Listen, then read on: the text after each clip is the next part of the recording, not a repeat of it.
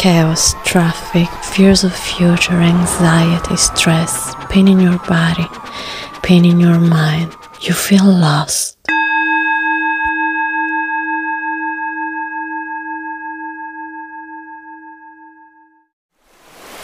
It's time for you to find your way.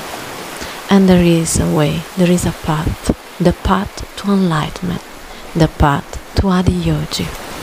A way to feel connected again, to control your mind, to strengthen your body, to live in this world and feel great again, feel part of a great family of this amazing universe.